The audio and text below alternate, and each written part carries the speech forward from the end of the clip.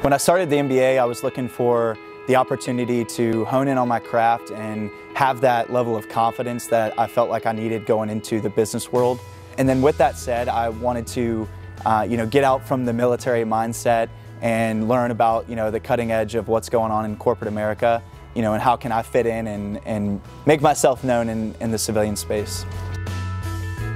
The most challenging part to me uh, about the program is just getting back into you know the day-to-day -day grind of school and studying. It you know in the real world it's it's a you know active study every day on the job, but getting back into the classroom mindset is very difficult and it, it's tough to get used to while you're trying to balance the um, career search and you know you feel like you have so much resting on that.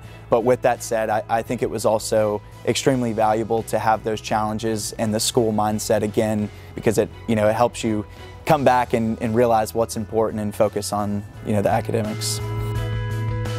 I chose Athens and University of Georgia due to uh, you know, the big name that Terry College of Business holds. You know, I just find it extremely valuable to have that small cohort, uh, professors that are always there, whether it's even their cell phone at 9 o'clock at night to help you out, to be able to, you know, work and interact and network with your, with your classmates while also having that, you know, team uh, type atmosphere that we have. I think that was something I was used to in the military um, and something that, you know, I really wanted uh, to, to help me excel while I was here it just is, it's got such a personal aspect to it.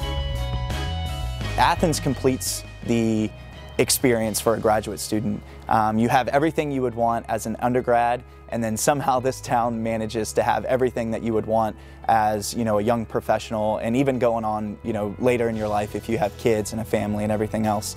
Um, you know anything from physical activity to um, you know food and, and, nightlife, and close to the city, close to the mountains if you want to go hike. It's the perfect uh, setup.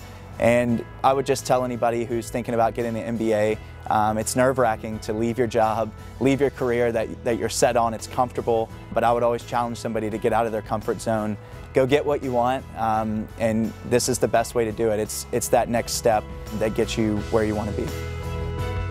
My name is Travis Hawkins. I'm a full-time MBA candidate. I'm a proud Army veteran, and after graduation, I'm heading to Deloitte Consulting in Atlanta.